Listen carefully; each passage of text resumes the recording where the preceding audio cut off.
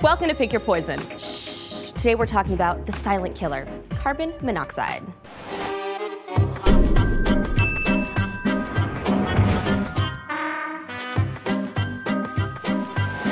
Carbon monoxide isn't called the silent killer because it tiptoes. It's called that because it's a colorless, odorless, tasteless gas. It's also a non-irritant and the leading cause of injury or death due to poisoning worldwide. It's very serious business, people. 20,000 Americans visit emergency rooms every year due to accidental carbon monoxide poisoning. 4,000 are hospitalized and 400 die. That's a shockingly large kill count for a developed nation and something all of us should be aware of. So how does carbon monoxide get you and how can you protect yourself? Well, this time the killer really is already inside the house and car and office and that weird place you go do Bikram yoga or soul cycle or whatever you're into. That's not the point. The point is carbon monoxide is produced anytime fossil fuel is burned. We're talking wood, gas, oil, kerosene, pretty much anything you would use to power your non-electric ovens, furnaces, water heaters, generators, fireplaces, or cars. But you don't have to get all electric boogaloo on us just yet. You can still use fossil fuels. Your house just has to be equipped with a carbon monoxide monitor like this one. Your car should be serviced regularly and never left running in an attached garage.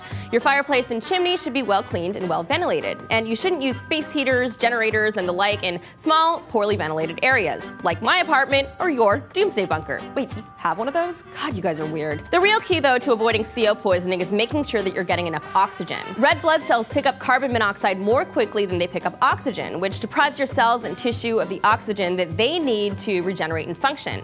This causes headaches, nausea, disorientation, fatigue, and angina, and if the dose is high enough, loss of consciousness and death. So, you just got poisoned from carbon monoxide and now you're dead. The good news is, you may have died in your sleep. That is one common way that people succumb to CO poisoning. The bad news is, you screwed over your loved ones pretty hard on this one. Your death could have been prevented if you shelled out the 27 bucks for a dumb little CO monitor. And for a guy with a bunker that's nicer than my apartment, you're pretty cheap. Seriously, just buy one. If not for you, then for your family or your cat or your plants. I don't know your value system, but a CO monitor will protect you from poisonous gas. I pretty much can't think of anything I'd rather be protected against more than that, except maybe poisonous monsters. Click here to find out more about the poisonous Gila monster, or click here to subscribe, and please let me know in the comments what poison, venom, or disease you'd like us to cover next. Also, how smooth was that transition to Gila monsters? Pretty freaking smooth.